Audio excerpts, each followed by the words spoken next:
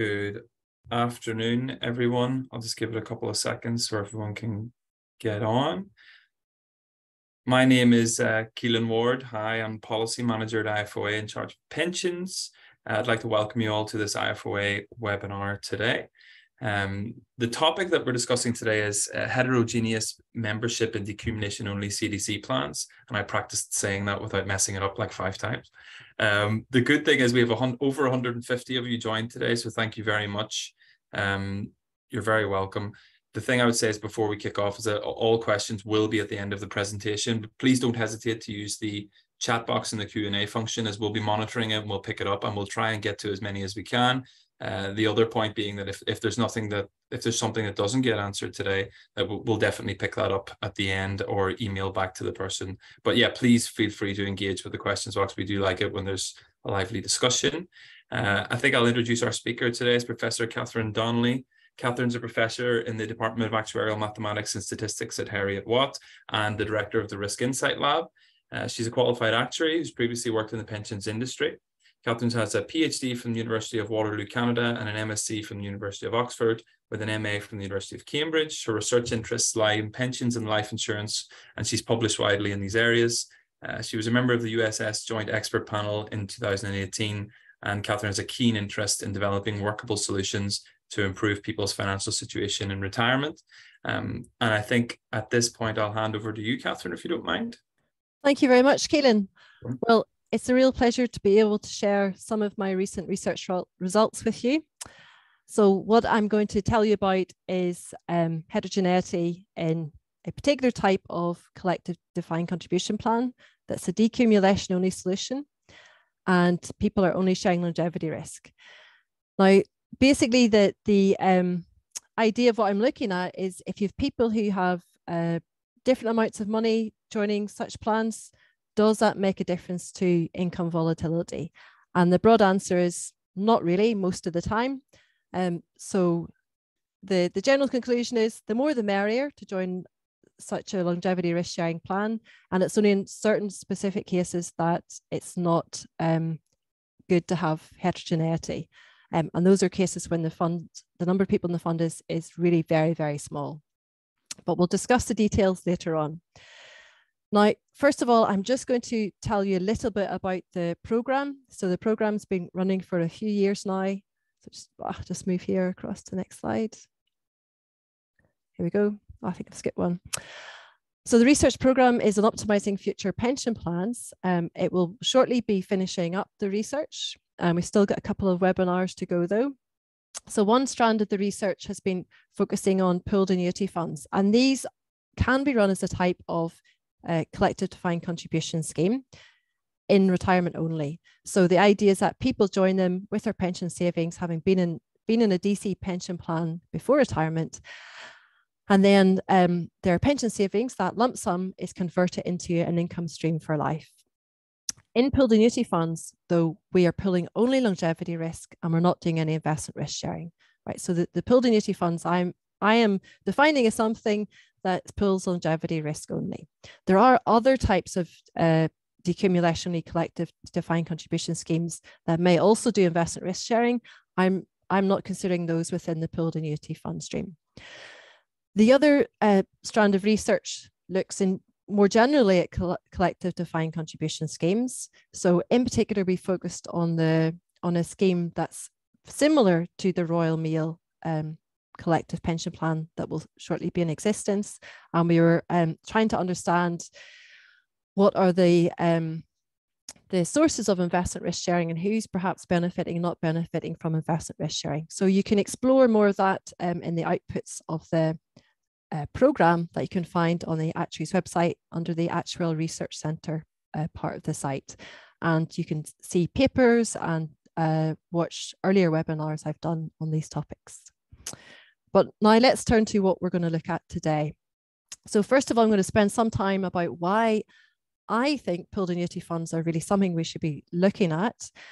We'll then spend some time looking at how do they actually work, right? So how would you go about about um, sharing longevity risk? Like what does that mean in financial terms? And then we'll look at the results on heterogeneity. So when everybody's not a perfect copy of each other, does that really matter? And we're really looking at understanding what's going on uh, it, it, within that setting so you can get the idea rather than just showing you some numbers. Okay, so the, the um, situation is that we have um, almost 23 million people in the UK saving into workplace pension. And automatic enrolment um, has been a great success since it started in uh, 2012. We have now about 80% of all employees with some kind of workplace pension. Right, so you can see that from the chart here. So we have the calendar year um, going up to uh, 2021 on the horizontal axis and on the vertical axis, we have the percentage or proportion of employees with a workplace pension by type of pension. So the top line there um, relates to the total people in a workplace pension. You may not be able to see very well this, this chart depending on how you're looking at this presentation, but basically what we also see is that um, more people are saving into some sort of defined contribution arrangement. And that means that they are saving into a pension pot and it's not designed that that uh, pension pot to give them an income for life. So in retirement. So whenever they come to retirement, they're going to have to make a decision about what they do with their pension savings.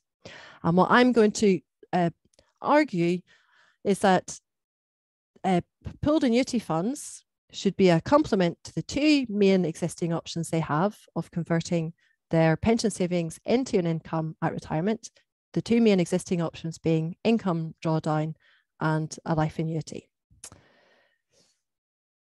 Now we also see, um, so you can, there's lots of really nice data on the on the ONS website.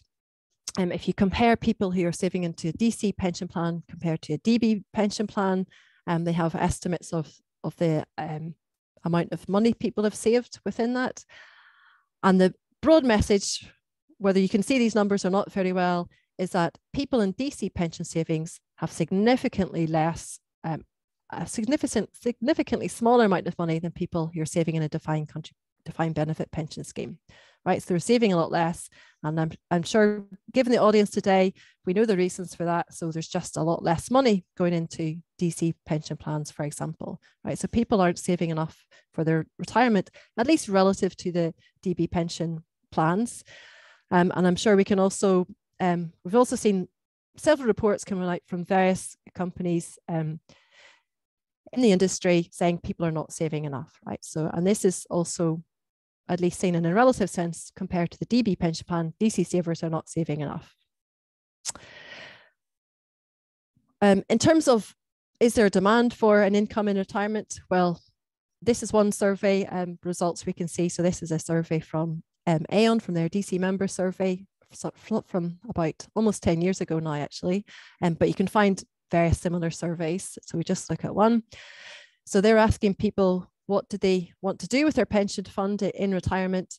And a large proportion of people they ask want it to have a stable income over their lifetime, right? So a stable income for like for their lifetime. So this is saying that there is a demand for this. So we're we're just focusing on a particular vehicle that's going to give people an income for life. Okay, and there's a, sorry, that was another similar type of survey. Um, it's a more of an internet based survey, but perhaps more recent. Um, and again, similar kind of things. People were concerned um, in retirement about running out of money and things like the rising cost of living, which will, I'm sure, this was a survey done in 2019. There'll be a much higher proportion of people worried about the rising cost of living um, today, as we can well imagine. So the summary of what the data and various surveys tell us um, is that we have a typical DC pension saver who works in the private sector because people in the public sector um, continue to have generally DB pension provision. And the typical DC pension saver who's in the private sector doesn't have very much in terms of their pension savings. They want an income for life. Um, so the questions are, how are we going to give them that income for life? How are we going to give them enough income for life, right? So pre-retirement, we can try to perhaps find ways of increasing contributions, perhaps making explicit the link between the income they're getting in retirement and how that relates to the contributions we're making instead of um, presenting contribution rates in a default way, right? So, so whenever you're joining your pension scheme, you're given a form and you're asked to take what contribution rate do you want to do. You'll be guided by what is the um, default contribution rate in the fund or the maximum that my uh, employer will match with that because you don't know what what to contribute so you'll probably use that as a guidance.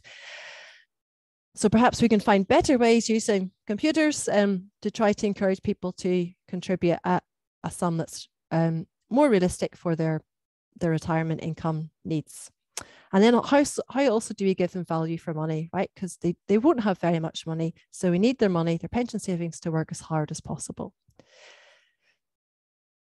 so I do think that pooled annuity funds should be sitting out there as a, as a solution for people, right? So pooled annuity fund, there are people maybe use different words for this, um, but I'm going to define it as this, right? So in a pooled annuity fund, people are joining it at retirement with their lump sum pension contributions, right? So you retire from your DC pension plan and instead of taking your money and say buying a life annuity or taking your money and um, buying some kind of drawdown product, or maybe just withdrawing all your money.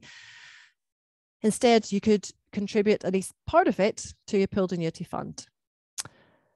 Then from this pooled annuity fund, they'll take your money, they'll invest it, and they'll pay you an income for life in retirement, right? But that income is not a guaranteed income in the same way a life annuity is. It's, it's riskier.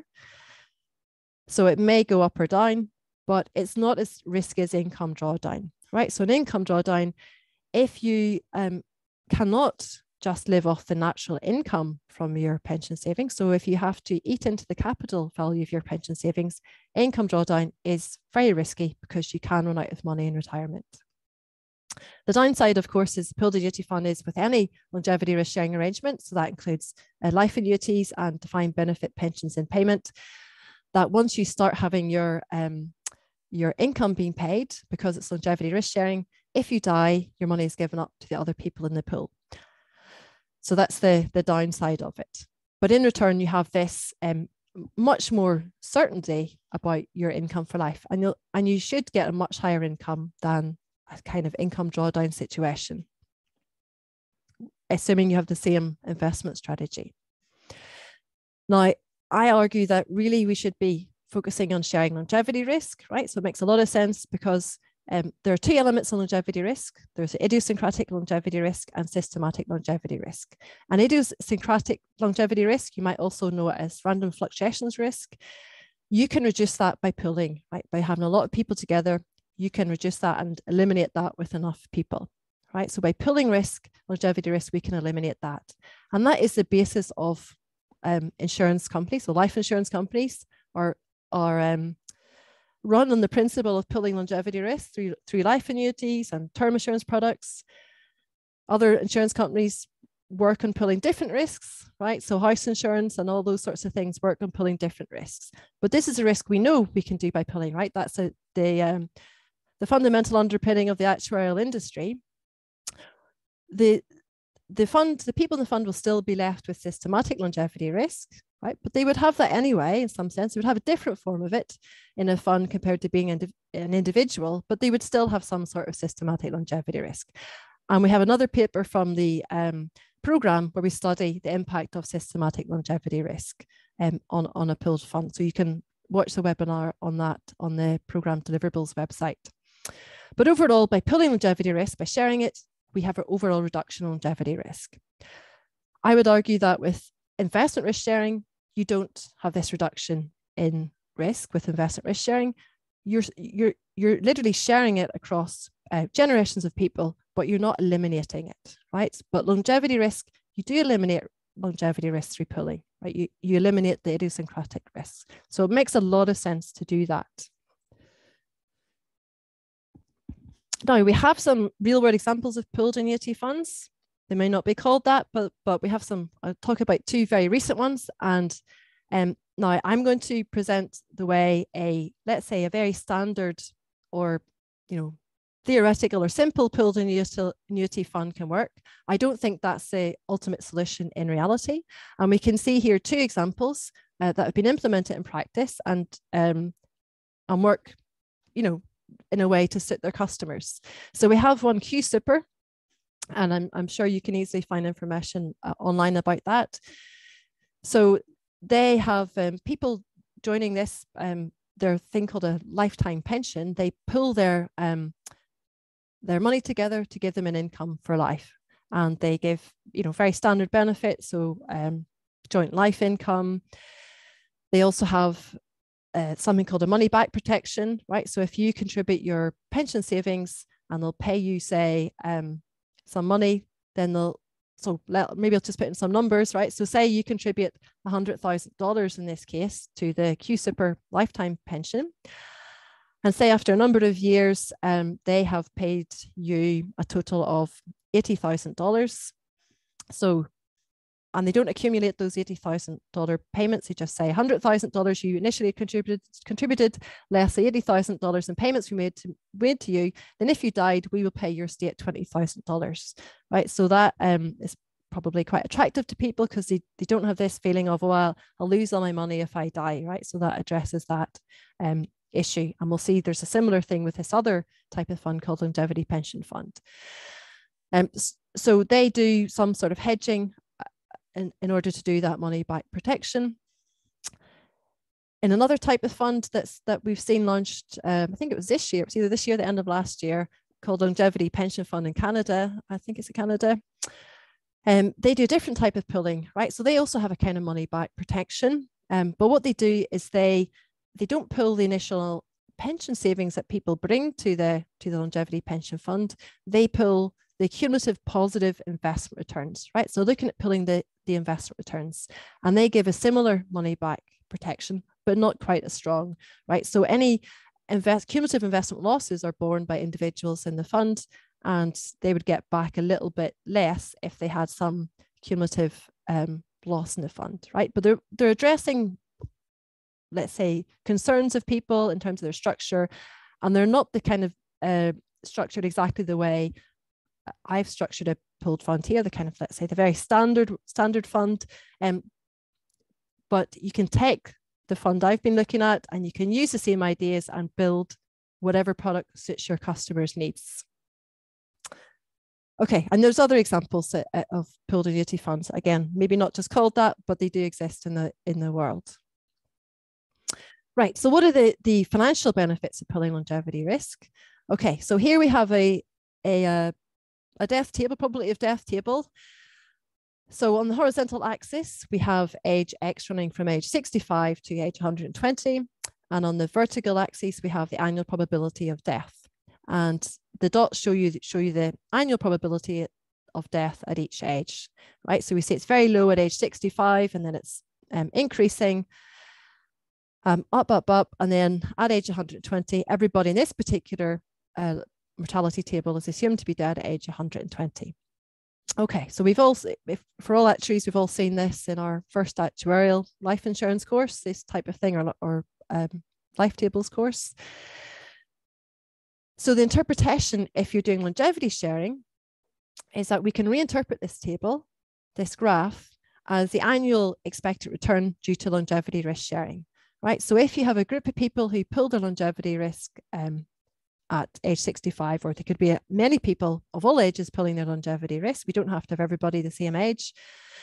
Then their annual probability of death is effectively their expected return due to longevity risk, risk sharing. So someone who's age 65 can expect a return of only about 1% due to longevity risk sharing because they're unlikely to die, and that reflects the, their um, risk of, of dying, the return they get due to their unlikely risk of dying.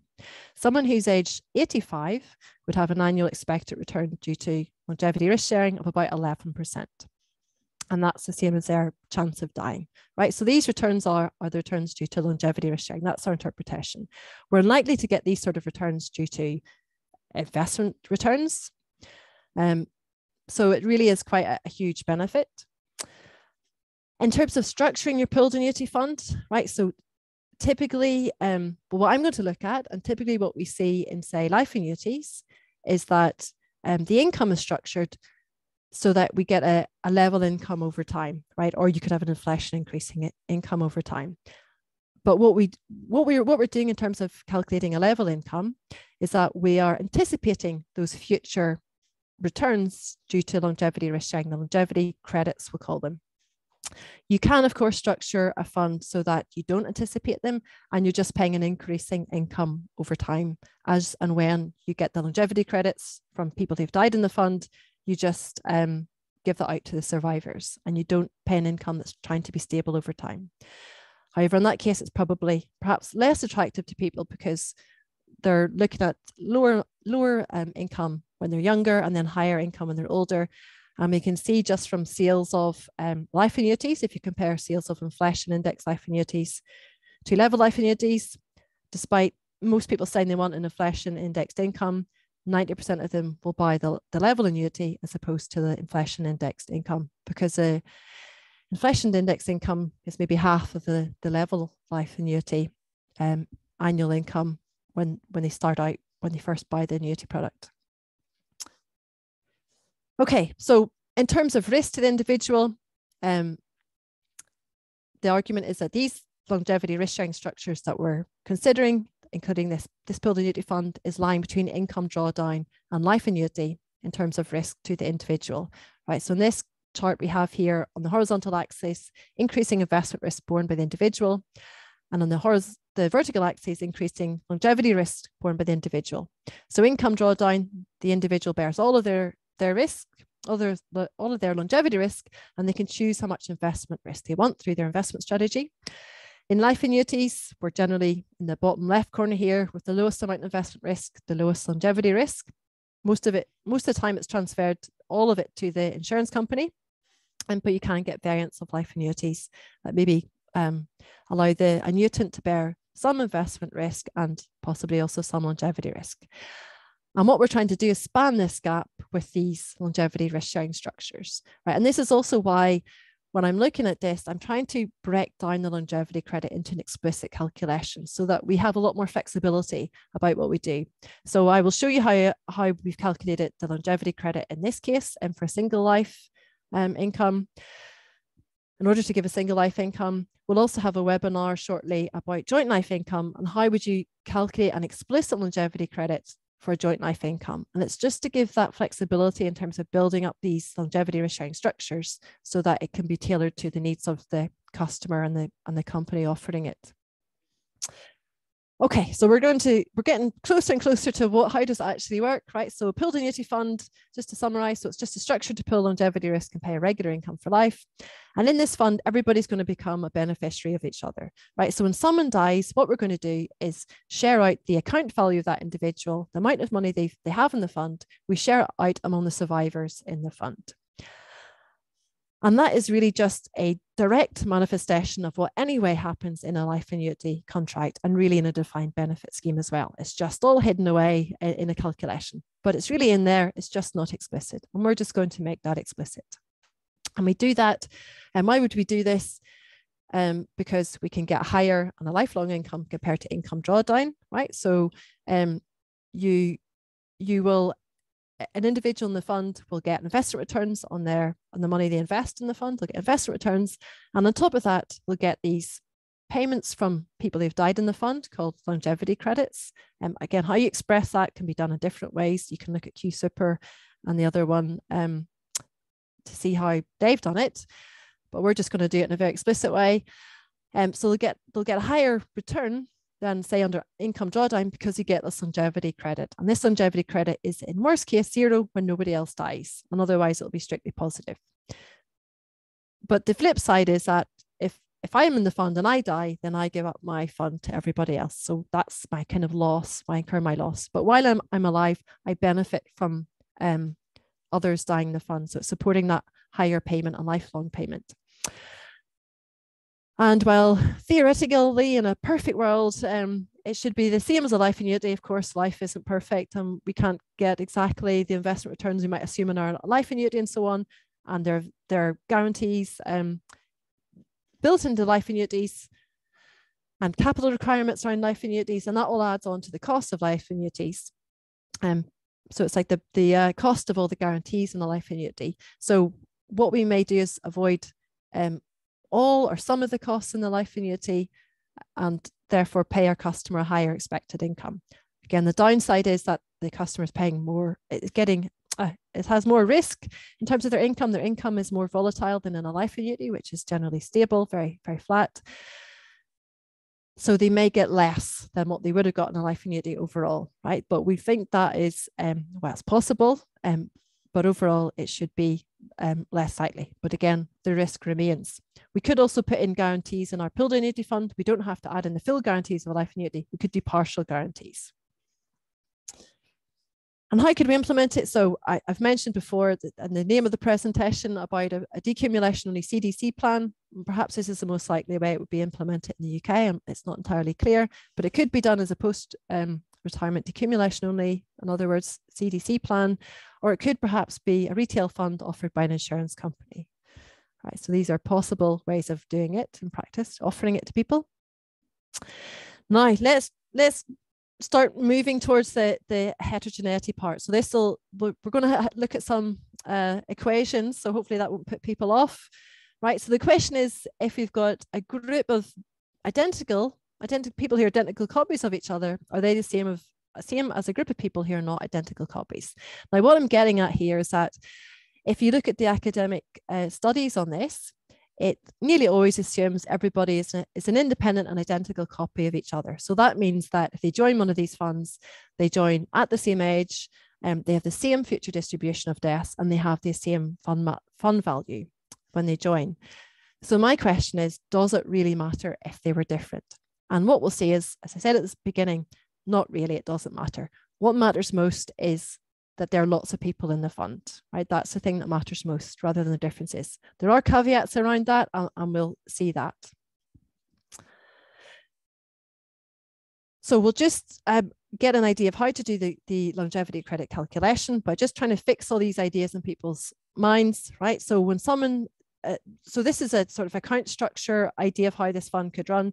It may not be appropriate um, for the customer. It might be better to do just um, an income-based approach. Just tell the customer you're getting this income, and we're going to make adjustments every year to that. Um, so it depends on on um, yeah what suits the customers basically. But I'll just look at it as an account structure. So this could always run internally. So the someone who joins this fund, they join with some initial account value. So that's in other words, their pension savings. That's invested their their account value to earn investment returns and they'll gain investment returns.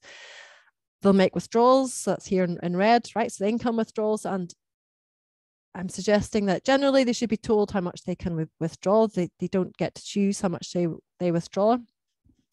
And so up to this point, it sounds very much like income drawdown, apart from the perhaps um, not allowing them to withdraw whatever they like, the main difference is in these longevity credits, right? So these are the things that are the share of the funds of people who have died. So worst case, this longevity credit is zero, and otherwise it will be strictly positive when someone else in the fund dies or, or several people.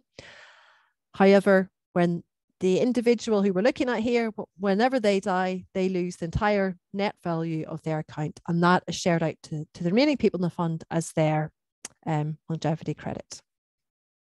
So let's see how could we calculate this, right? So we're going to look at a very unrepresentative, very small group of people, right? We'll just continue the, the Star Wars theme, right? So we've got five people um, who have joined a fund altogether. Now, I don't recommend it's only five people at all, but it's just um, how many pictures can we put onto this slide? And we're going to get an idea of the calculation, right? So we're going to look at one particular way of doing the calculation. There are many varieties of it, but we're going to do a calculation that is consistent with the way we calculate the annuity value that is used to get to calculate the income, right? So we've got five people in this fund and they're all uh, different, right? And so someone's going to die over the year, and we'll just look at things on an annual basis. Someone's going to die over the year, and what we want to do is see how could we share out their account value among the four survivors, right? So unfortunately, Mr. Jinn dies, right? So that might not be a surprise to anybody if you're a Star Wars fan. Right, so right, so now we've got a little bit of notation, trying to keep it as light as possible, but the, but it is uh, just the nature of this to, to try and look at it.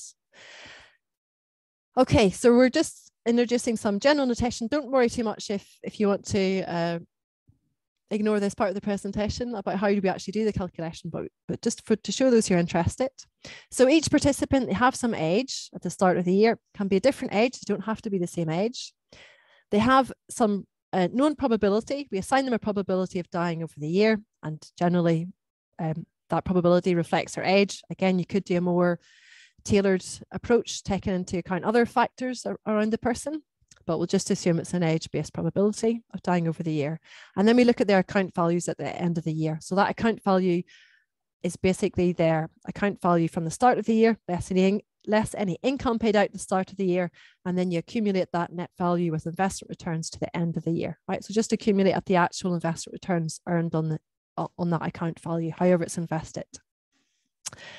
So and Mr. Jinn has died, and we say want to calculate Han Solo's share of Mr. Jinn's account value, right? So the idea is that, I mean, we're just using pictures, but I'll put in some uh, notation in the next slide.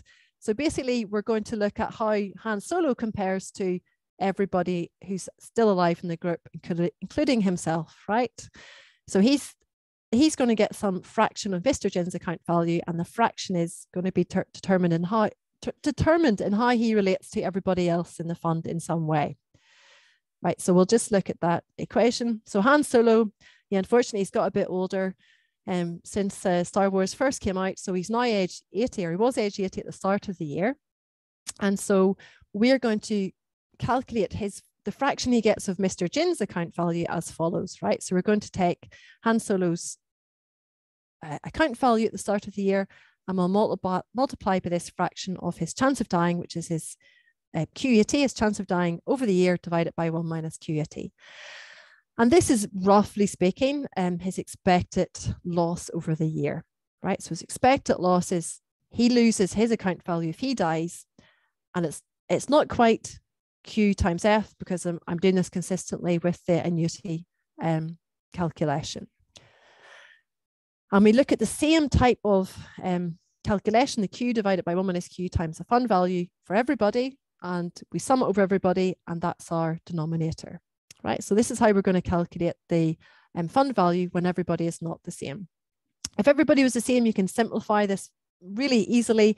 And um, so if everybody was the same in terms of age and, and so on, and future probability of death or future or chance of dying over the year, and this, they had the same fund value if they were alive, then you would just take Mr. Account's value and divide by four because there are only four survivors, right? So it'll be very straightforward. But whenever we have this heterogeneity, it just becomes a bit more complicated, but it's not, it's, it's really very straightforward still. Okay, so um, whoever's died, in this case, Mr. Jinn, Mr. Jinn, we just share out his account value among everybody. And the way this fraction is constructed, his account value will be shared out entirely among the four survivors and there'll be nothing left over. So we and I, so we've we've reached the end of the year. Um, we've observed Mr. Jinn died, died died during the year. He had an unfortunate accident with someone, and we want to calculate how much to pay to Han Solo, who's now age 81. He was 80 at the start of the year. He's now age 81. Um, how much should we pay him now? We just pay an annual income. So we take his fund value, Han Solo's fund account value at the end of the year. That was after investment returns, but before we add on the longevity credit, we add on that longevity credit from part of it due to Mr. Jinn.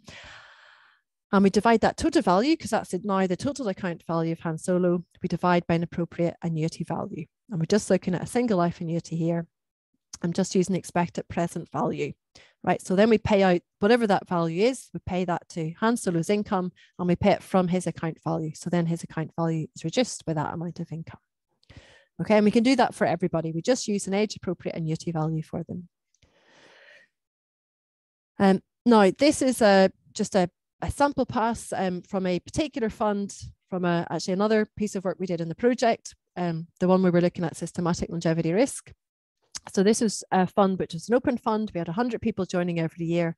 And these are just three sample paths, so three possible outcomes in the unknown future um, from a pooled annuity fund where we ha had 100 people joining every year, right? So this is showing you um, this is starting from age 65 in this case. So in that particular study, we assumed everybody joined the fund at the same age, which is not, which is a reasonable assumption, right? So people are retiring at a say a known age, um, whether it's 65 or 67 or 70.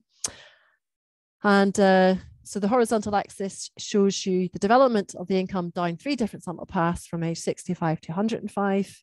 And then the income um, rate they're getting is on the vertical axis. Okay, so that's 100 people joining every year. Now, let's turn to our results, right, to try to understand the heterogeneity aspect. So we're just going to look first, uh, I'm actually really just going to look here at the single cohort. So we've got a, a single group joining at time zero, nobody else joins, right? And we're just going to see how, what happens to the income for this group. Now, we assume that we're going to assume here, and we'll say we'll say some results about when they're not the same age, but we're going to assume here that everybody's the same age and they, they have the same mortality distribution. And this is really going to help us um, to, let's say, understand what's going on better, right? By starting with this, this point. Now I'm going to introduce some things and I hope I'm not going to lose everybody. Okay, so we're assuming everybody's the, the same, they all join at the same age, right? And we're going to assume that everybody's joining, first of all, with the same amount of money, right? So this is the, the kind of um, stormtrooper case where we've got all these independent and identical copies. Now, um, let's just, since everybody's the same, right? As long as they're alive anyway, uh, let income n be the income paid to survival at time n, right? So what we want to do is look at how does the income change over time, right? So this won't be the ultimate thing we're looking at, but we're just going to make this observation. So how does the income change from, from year to year? Now, if we look at the change in income from year to year, and we assume constant investment returns, then we see that the annual change in income is driven purely by, in effect, idiosyncratic longevity risk, right? So it's driven purely by, with constant investment returns, it's driven purely by um, the ratio of the true survival probabilities over that last year. If we're looking at the change in income since the income at the, at the start of the year, um, it's driven by the change in the, the true survival probability, right? So that's from our uh, distribution divided by the survival probability observed among the people in the fund, right? And that is just due to idiosyncratic longevity risk. Because if we had, you know, millions of people in the fund and they're all the same, then the empirical survival probability that we would observe among a group of millions of people would be the same as our true survival probability, assuming that there's no systematic longevity risk in our model, which we're going to assume, right? So we're just looking at idiosyncratic longevity risk. If we relax this assumption of constant investment returns, we would have a similar equation. Change in income over time is given by this true survival probability divided by the empirical survival probability. And then we'd have a times one plus the actual investment return, assuming it's an effective rate, divided by one plus the assumed investment return. And those are all the assumed returns within the um, annuity, uh, the annuity calculation, that expected present value of annuity but then if we do that, if we add in random investment returns, we end up mixing up um, idiosyncratic longevity risk and returns. And we just want to focus on longevity risk here, the idiosyncratic part of it. And there's no systematic longevity risk assumed. Okay, so we're by assuming constant investment returns, we focus only on that. Now, we're going to do two things here. We're going to have a measure of income volatility, and it's not going to be the standard deviation of income volatility. We're going to do something that is, in my view, more informative, and we want to measure volatility. And what we're going to see is that within this special case of a single cohort, and everybody has the same, um, same age and the same distribution of deaths, that we actually have a very explicit relationship between this particular measure of income volatility and the heterogeneity measure. And through that, we're going to see that actually what really matters is just you've got the numbers of people in the fund, right? So we're going to just comment on that as we go along. And I think I have to speed up a bit, otherwise I'm not going to get finished, right? So don't worry too much if, um, you don't take in these equations here on this page. So basically, the measure of income volatility we're going to look at is we don't want the income to drop to drop very much. Now we can't, we're not controlling the income, we're just observing it, right? So we're just going to observe um, we're going to pick some, sorry, I'll start. We're going to pick some lower bound, right? So here we're saying, let's pick um, 95% of the initial income. And we're taking the initial income as very important to the customer because that's what they've been told. You're going to get this initial income and it may fluctuate a bit, maybe told it might increase in a, in a different pooled fund setting, but basically it's a very important number for them. And in this case, we're looking at uh, trying to pay them a level income. So let's allow for the fact the income is likely to have some fluctuations around that initial income, but let's see how long it's really fairly stable and doesn't drop by more than 5%, right? And we're just going to observe down each sample path for how long is that income above 95% of the initial income. Now, in some simulations, it might be for 25 years. In another simulation, it might be 18 years. In another simulation, 23 years. So um, what we can do is try to find in say, in this case, we're going to just fix this 90%. We're going to see for how long is that income above 95% of the initial income what's the maximum time it will be above 95% of initial income in 90% of the scenarios, right? So let, I'll just put in a number here because it's probably easier because there's too many 90%, 95%, right? So let's say we find this maximal time was 20 years.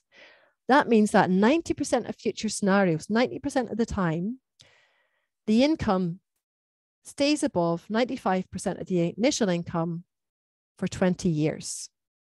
Right. So I know it's a it's a lot to take in. Um, that there, but that's that's what we're going to use. So it's really telling us that it's really quite stable, the income. Um, it doesn't fall by more than 5% in 90% of the scenarios for 20 years, if that was a number. Oops, we've jumped, oh, jumping around. I don't know why it's jumping. Stop. Okay. I think we've gone too far here. Right. Okay. Now this is a this is an important graph for understanding this heterogeneity, right? So we have here a plot of this number of years for which the income is above 95%. Now, it starts at age, it's assuming people start at age 70. So everybody here is age 70. And we're looking at a funds where, where they have different initial amounts of people, right? So it's going from about 10 here. You can't, you can't really see it, but we have here in the horizontal axis the initial number of participants in the fund going from about 10 up to 10,000. And then on the vertical axis, we have the number of years for which the income stays above 95% of the initial income. And you may have seen this chart before in, in some earlier webinars you might have seen. Um, but you see this chart, the number of years for which the income doesn't fall by more than 5% of the initial income, right? So it stays above 95%. The number of years for which it does that in 90% of the scenarios increases dramatically from uh, about having 10 members to 1,000, and then it's still increasing, but it gets, slow, more slowly increasing, right? So it's like a logarithmic function. And so we see at the when you've got a fairly small number of people, right? So it's all relative here, right? So you've got fewer than a thousand. There's big, big gains to be made in terms of the number of years for which this income is stable. And this is where this um, heterogeneity will matter a lot when you've got not many people, because and what we'll see is that there's a very strong relationship between this number of years for which the income is stable. In fact, we can write down a relationship. The number of years between um, for which the income is stable, so it's above this 95% of um, the initial income and 90% of the scenarios. There's a strong relationship between that and the heterogeneity measure, but they're very sensitive, right? The number of years and the heterogeneity measures we'll see shortly are very sensitive um, to the number of members, the total number of members in the fund. And so when there's heterogeneity with a small number of members, you move up and down this line um, at the start here very easily and that's going to affect the number of years. Whenever you have many more people in the fund, heterogeneity doesn't really matter very much because even if you had, say, um, you had a fund with 10,000 people, but, you know, let's say, it's hard to say what's moderate or not, but let's say a moderate amount of heterogeneity, maybe that moves you down to being similar to a fund in which you've got 5,000 people who are, who are all the same. Maybe it's similar to being a fund with 5,000 people who are the same, but you've actually got 10,000 people who are, who are different. But in terms of the number of years for which the income is stable, it doesn't change it by very much, right? Because we've just got the slower change as we as we have the number of people. So we've got maybe just skip this and the next one, interest in time. So our measure of heterogeneity, for those who are interested, right? So the heterogeneity measure, we're, we're looking at the characteristics of the people in the fund.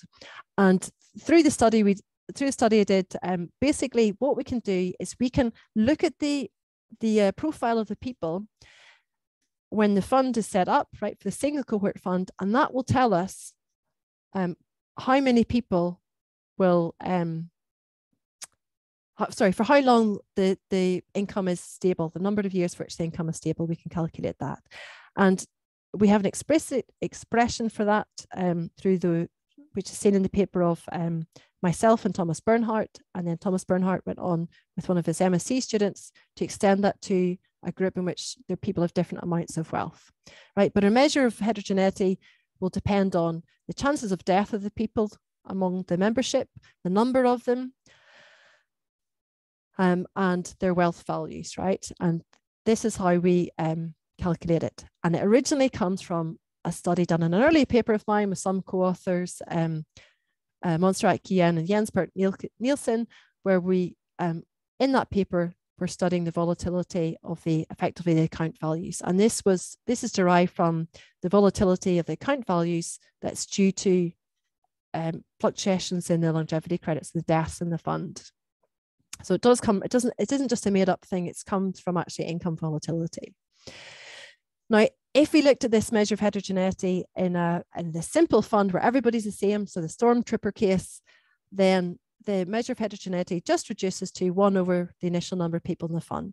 And it and you'll see here, this is a chart just showing you that it's like a one over X graph, right? So nothing, nothing amazing here. So we've got the initial number of people in the fund here going from, so it's just above zero, so about 10 people up to 10,000 and what the heterogeneity measure looks like. Now, within this setting of a, of a single cohort fund, um, and everybody's the same age and the same distribution of deaths, right? So single cohort fund, same age, same distribution of death. If I have a different group of people, right, they can look quite different. But if they have the same heterogeneity measure value, and, and it will be calculated differently if you have people with different fund values, if they have a different heterogeneity measure, um, sorry, if they have different, they look different, but they have the same heterogeneity measure value, say, um, a group of people who are all the same who are say size a thousand, right? So that so if you have people who are all the same, there's a thousand of them, their heterogeneity measure will be one over a thousand, so 0.001. If you've got another group with people with different account values, but the same age, same future distribution of deaths, and they have the same value of heterogeneity 0.001, then their income will be stable for exactly the same number of years in 90% of scenarios or whatever percentage of scenarios you want to calculate, right? So same heterogeneity measure means you have the same um, number of years for which the income is stable right? So that's that's what we'll see. And so how, so how do these things relate? Well, actually, we have an explicit expression. So instead of going and doing simulations to determine this, we have a way of, of relating that. So um, again, in the interest of time, we, we won't um, look at this really, but basically the summary from this page is that we have a relationship between the heterogeneity measure your choice of, of it is at 90% of future scenarios or could be something else. We're looking at 95% of the of the initial income as a, as a lower bound. We could change that to something else. And we have our heterogeneity um, value that we calculate by looking at the membership, their account values, um, the number of them, and so on. We calculate this function where phi is our uh, our standard normal distribution function, and we say that's that's equal to our um, someone who's age X, the same age as the, as the members of this fund, um, we set that equal to TQX, right? So the chance of someone who's age X dying within the next T years.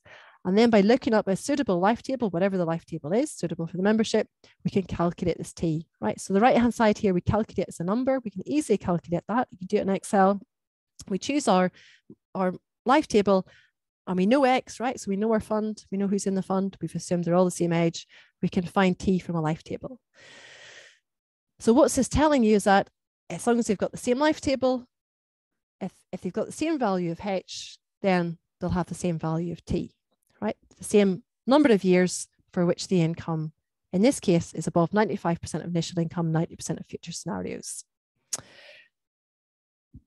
So I'm going to um, probably finish, I'll probably skip the next one, right? But um, so let's look at a fund where we've got, say, a thousand people, and some of them are rich and some of them are poor. But the rich people, we're going to look at different um, lines here where the rich people are increasingly more, more wealthy. So let's just look in the graph on the left-hand side. So we have number of people, number of rich people out of a thousand. So we've got a thousand people in the fund at time zero, no one else joins. And let's look at say um, 100 rich people out of a thousand. And let's say we'll just go up here to this dotted line. That means that those rich people are four times richer than the poor people. In other words, it's, a, it's an individual account value. So each rich person is, has four times the account value of each per person. And if there are 100 uh, people in the fund, then we can calculate the heterogeneity measure, and that's about 0.0015, reading off the, the chart, the vertical axis on the chart. So what does that mean, right? So this is probably where I'm going a bit too fast here, right? So this table on the right is coming from a fund in which everybody was the same, right? So there's no heterogeneity among the membership, but it was still single cohort. Everybody was the same age and the same age as in the graph on the, on the left. And what's driving the number of years for which the income is stable is this heterogeneity measure, right? So if you have a thousand people who are all the same, their heterogeneity measure is 0.001, one over a thousand, and we can calculate, say, the income is stable, sorry, the income is um, above 90% of the initial income for 90% of future scenarios for 26 years in that case. If we had a bit more heterogeneity, right? So we looked at that that 100 people having four times the account value of each of the per people, then their heterogeneity measure is about 0.0015. That pushes us a little bit between the, the funds where we have 500 and 1,000 people. But we can see just by a, the change in values in terms of the number of years for which the income is stable, um, it's going to drop between probably one to, to two years, depending on which income bound we're looking at. So we're looking at 80% of the initial income, alpha is 0.8, or 90% or 95%, right? So it's going to change it by a couple of years. And um, we can look at more people in the fund. We actually see the chart on the left looks exactly the same, right, as the chart where we had a thousand members in total. And what's that's telling us, probably we're too fast here, but what's that, what is that telling us is this is why I'm saying it's a number of people that matter more than the, um, the heterogeneity in the fund. The heterogeneity in the fund will really matter a lot when you have a very small number of people who are extremely wealthy. But if you don't have that, if you have kind of average heterogeneity, um, probably not as heterogeneous as what we're seeing here. These charts, at least for the the four, six, eight times uh, as wealthy people. So perhaps we're really just living down here. What really matters is the number of people more than that, because the heterogeneity measures are changing by a factor of 10 each time, right? So if you look in the chart here, you've got 100 people who are all the same. The heterogeneity factor is 0.01.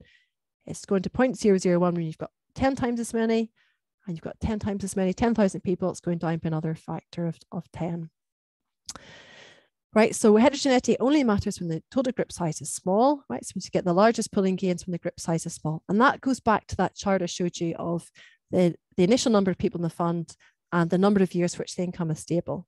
So we're, whenever we've got a small number of people, that um, steep change in the number of years which the income is stable is mirrored by the steep change in the heterogeneity measure. Remember that one over X graph, it's just mirror a mirror of that.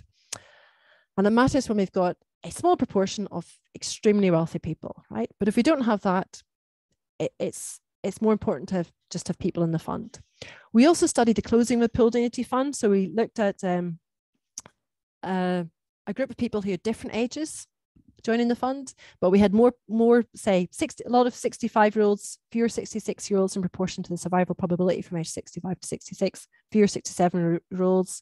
Adjusted in, the account value similarly. So the 65 year olds had the most money, 66 year olds less, and so on.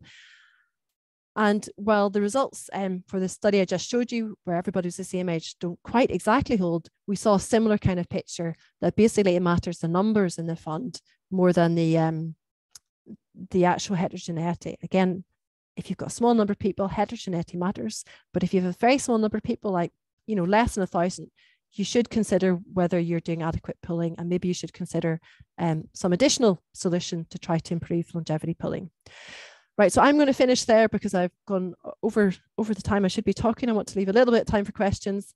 And if you're interested in finding out more, because I know it's quite technical and I went pretty fast towards the end of it, um, you can look up some of the papers here and the uh, the paper relating to um, this here work should shortly appear on the website as well.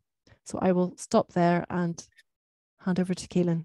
Thank you, Catherine. Um, lots of questions and thanks very much for your presentation. I understand there's a lot of detail. So just, I think someone asked in the chat, we will be sharing the slides afterwards and people can go through it and come back with questions. It's not a problem, but maybe we'll take five minutes, Catherine, for a few questions if you don't mind. Um, okay, where will I go? Adrian Bolding. Hi, Adrian. Adrian's asked a couple of questions that are interesting, I think. Um, when you were working out Han Solo's new income in your model, the Star Wars one, which I loved, by the way, do you update the assumptions used to calculate AX? Yes. Keep the same assumptions you used at entry? You, you, you, you would update it, right? So we've assumed a very sort of rigid model, um, but yeah, you would update it over time. So that's one of the um, other well, we might see it as an advantage, updating the assumptions over time. If you look at the deliverable we've done on the um, involving systematic longevity risk, we assume in that that the assumptions are updated over time, the annuity um, calculations are updated over time. So yeah, we do update over time in line with how mortality is evolving. But in this case, we have a, a we don't have any systematic longevity risk, so it's kind of doesn't matter. But we do have that uh, deliverable where we where we look at it, and still the income is really very stable. Um, with that, you do see a build-up of systematic longevity risk over time mm. for the last generations, but it's also compounded by the fact that the last generations in such a scheme, they end up they're in a good situation for say their first 20 30 years for this the longer lived people and um, they're good situation because they have all the previous uh, generations in the scheme but they are dying off and then it ends up the last generation if you don't do anything they'll end up there's not very many of them uh, at their own age at their old age. And old age you really need longevity pooling at the old age. That's when it really really matters. And mm-hmm. um, they have nobody to pool their risk with the longevity risk. So it's so you can't just run these things into the ground. Like you have to do something um, to improve that pooling at the older ages. Mm. yes we we would update it over time if we were doing a more realistic model for this but we're just studying one particular aspect of it Okay, cool. Uh, I have a question here from Peter Telford. How does this model cope with changes in assumed future longevity, i.e., what if P is now different from P at entry, etc.?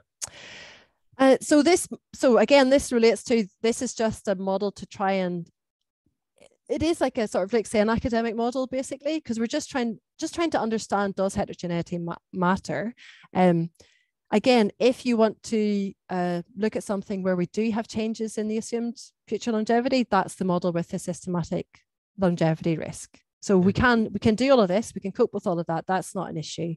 Um, and you can look at that paper. We just update our uh, annuity values effectively. That's how it will be manifested within the model.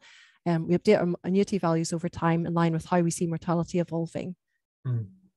Okay, thank you, Catherine. Um, I have another one here from Kevin Westbroom. Should a pooled annuity fund undertake underwriting of individuals who are joining? Um, yes, it's a it's a great question, Kevin. Um, I know other funds haven't bothered to do it, so I think I don't say bother is probably the wrong word, right? But you don't want to put people off, I guess. Um, so I guess it just depends. Um, of course, underwriting always incurs a cost, so it's a balance between do you think you're able to assess the mortality of people without underwriting well enough or or not? And that's what i, I i'm I, I don't know about basically. Okay. but it's a great good question. It is a good question. Maybe we can come back to it.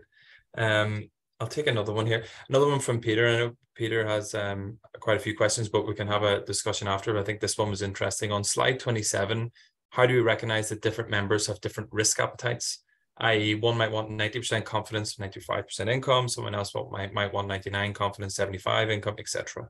So, okay, this is uh, so what we're doing here is we're not controlling this um, in terms of the risk appetite. Mm. We're just observing the income. So we're just running a simulation and we're just observing when does income fall below these um, particular chosen income bounds. And we can change the income bounds we look at. We can change the confidence intervals, this you know percentage of the of the simulations.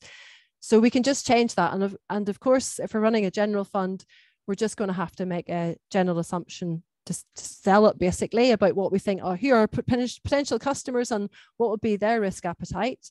Um, there'll also be the investment strategy, right? So that's going to have an impact as well, like a rather large impact on the volatility and any risk management around that. Um, so we can recognize that, but but basically, I think ultimately, um, yeah, you're you can't you you're you're probably well can you really offer everybody an extremely tailored investment fund? I mean mm. probably probably not. We just have to make some assumptions and see if people will invest in it or not.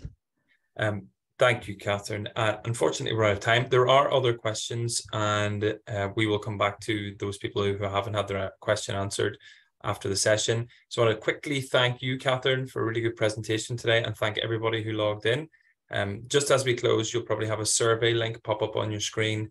Um, and if you could please complete that, we'd be very grateful. Uh, but as I say, yes, we'll pick up the other questions and no doubt this topic will keep rolling on. And thanks very much, Catherine and the panelists, and we'll see you the next time. Thank you. Thank you.